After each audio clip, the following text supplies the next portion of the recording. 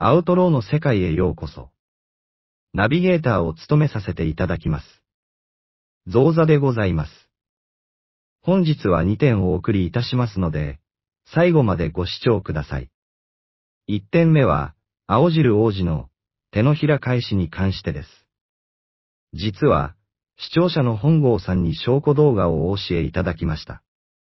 本郷さん。本当にありがとうございます。見たら、本当に協賛したいと自ら言っていました。もし、このまま逃げたら非、人道的に思えます。少なくとも5月以降に再生数が向上した要因の一つは、アウトロ界隈の発言をしたことで、その視聴者を取り込めたことも関係しているのではないでしょうか。また、公約を掲げ、興味ない、知らないという政治家をどう思いますか？経営者が秋田の一言で経営方針を勝手に転換したとします。信用、信頼できますか？協賛のやり方には様々あります。コラボでもいいでしょうし、何でも良いと思います。今後の展開が気になります。2点目に、テキサスさんが復活した件に関してです。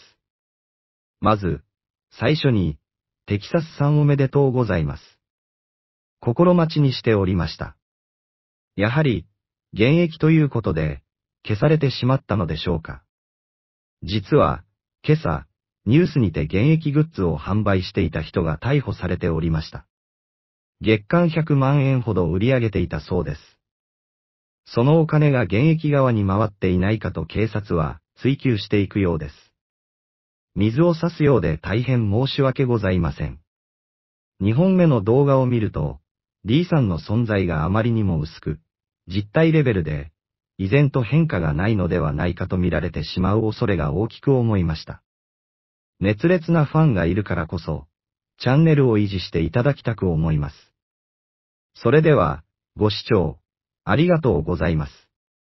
チャンネル登録、高評価、お願いいたします。また、お会いしましょう。